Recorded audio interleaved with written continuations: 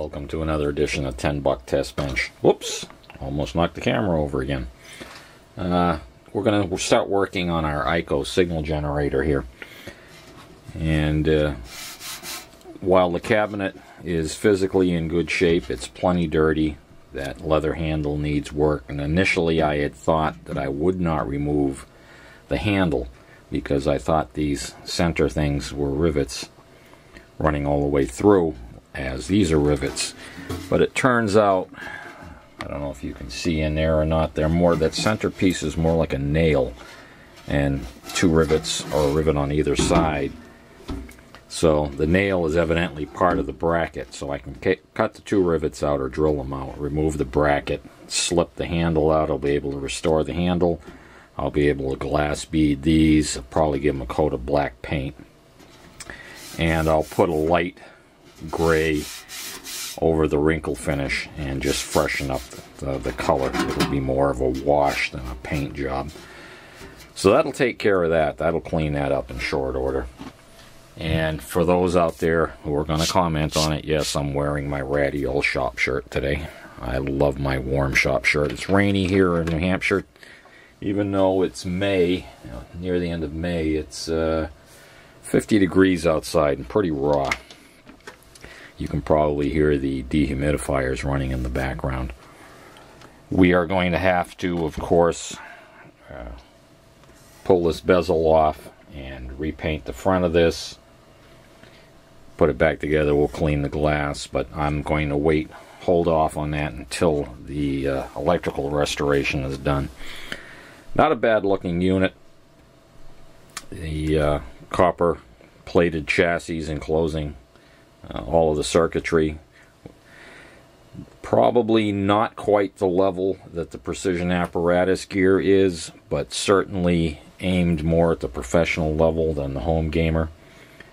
Um, EICO was stepping their game up. I don't think I've ever seen a Heathkit signal generator built quite this well.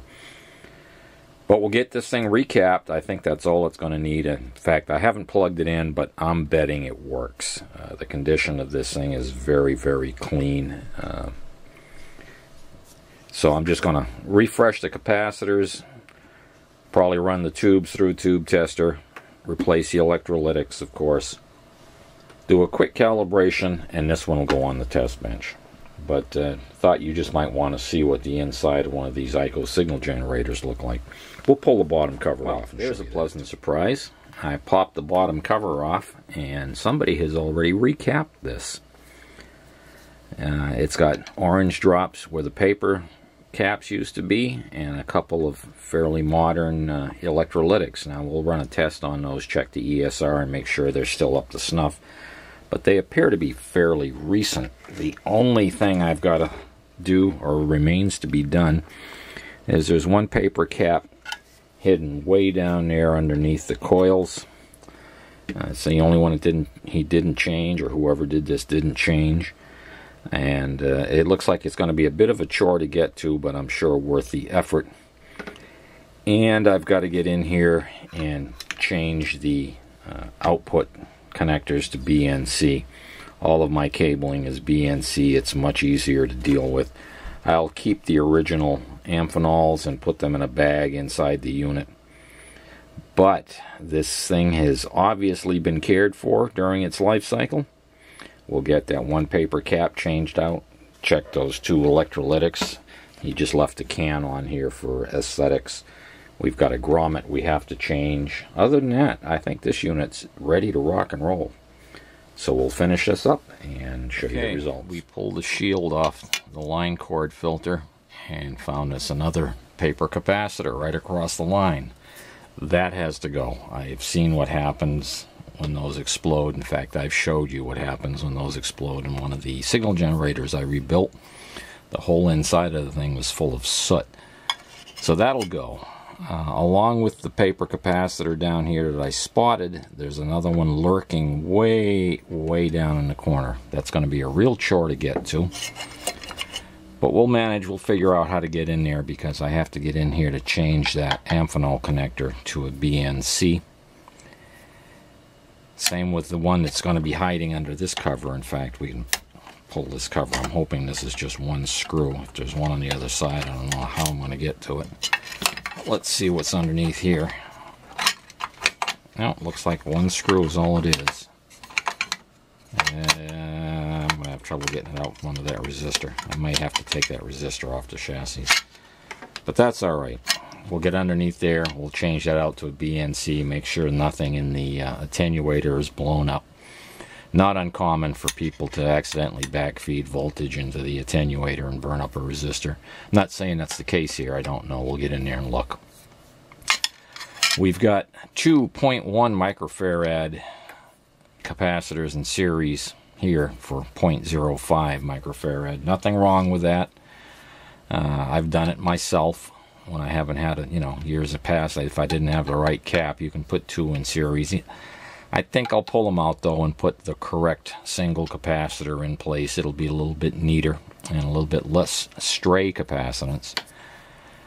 I see several questionable solder joints in here that we'll have to redo when the caps were redone. And I'm going to go through and check all the resistors. There's a lot of very old carbon composition resistors in here. So we'll go through and measure all of those, make sure they're within tolerance. We'll get this line cord off, replace the um, the grommet. The grommet that was in there literally crumbled into dust when I touched it. So we'll get that replaced squirt a little tuner lube on the uh, wafer switch here and uh, put this thing back together and see if we can calibrate it. Okay, ladies and gentlemen, and here we have the finished product. I'll leave it to you, my viewers, to tell me what you think. I think it's uh, came out spectacular, but uh, you know, I have a vested interest. I could have used body putty, spot putty to fill in the little porosity in the casting.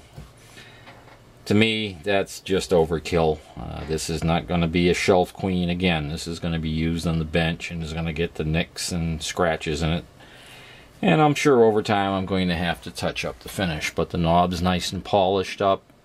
The action's nice and smooth. I fixed the pointer was rubbing. That's no longer doing that. I've cleaned the glass inside. It was horribly filthy. The little uh, line here on the vernier scale was, you couldn't see it. I mean, it was five times that width and it was just covered with grunge. But now it's nice and clean, back together. We've uh, done a little work on the handle. I'm not a leather worker. If I was, I'd probably make a new one because this is pretty dry rotted, but looks pretty presentable compared to what it did. And we've sprayed some finish on it, covered up the dirt and grunge. Uh, we washed it first, of course. And after we got it as clean as we could, you can't get all the staining out. Uh, dried it in the oven to make sure all the moisture was pushed out of it, then sprayed some paint on it. I left the original screws in. There's some very minor tarnishing on them, but they are the originals and they don't look all that bad. So we'll put this up on the 10 buck test bench and get busy on our next project. For now, I'm the Radio Mechanic. Thanks for watching. See you.